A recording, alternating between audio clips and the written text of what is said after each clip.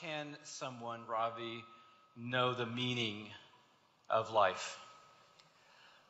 You know, that's at the heart of it all, I think, Louis. If you and I were to be sitting across a table with a cup of coffee and asking all the other questions, lurking in our own hearts would be, what does my life really amount to? What, is it, what does it mean?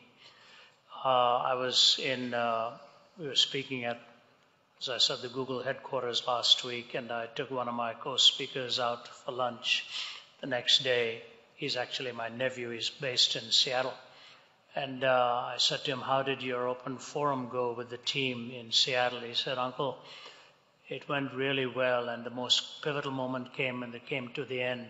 A young 14 year old boy, very heavy glasses, walked up and he said, I just want one answer. Can any one of you on the platform give me the answer to what is the meaning of life? Three times I have tried to take my life and I have not succeeded. And he started crying. He said, I need the answer to this question. We all want the answer to the question. I don't have the time to go into it, so let me just mention quickly.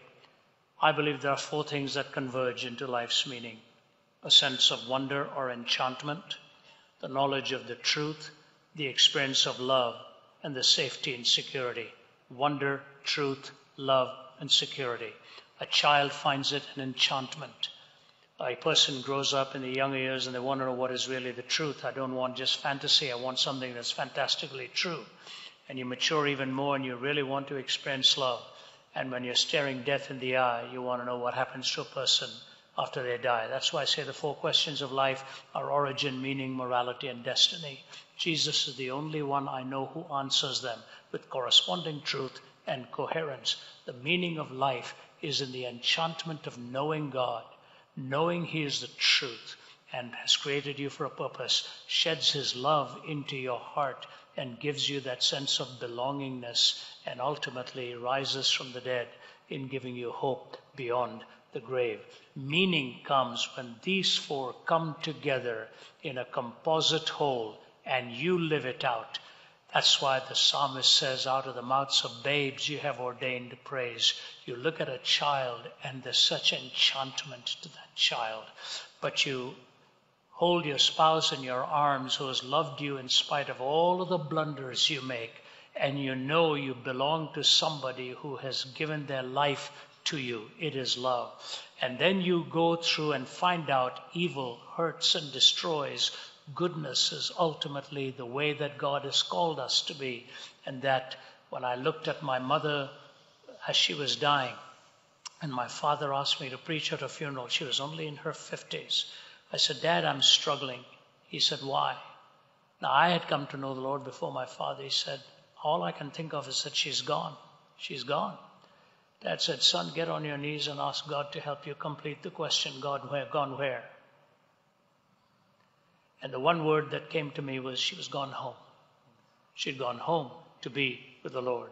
As an itinerant man, I cover the globe.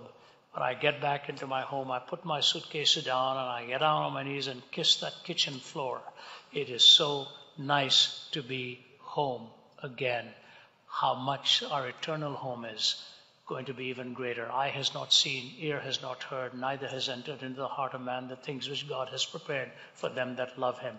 You want meaning, you will find it in Christ who gives you that wonder, that truth, and that love, and that security.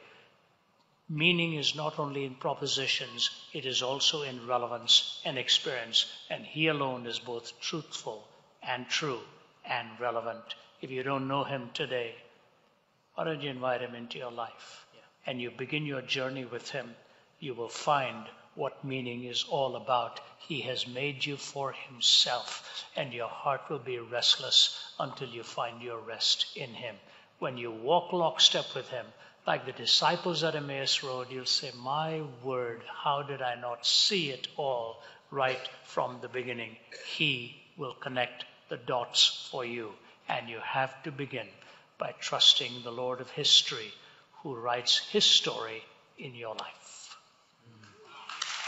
Beautiful.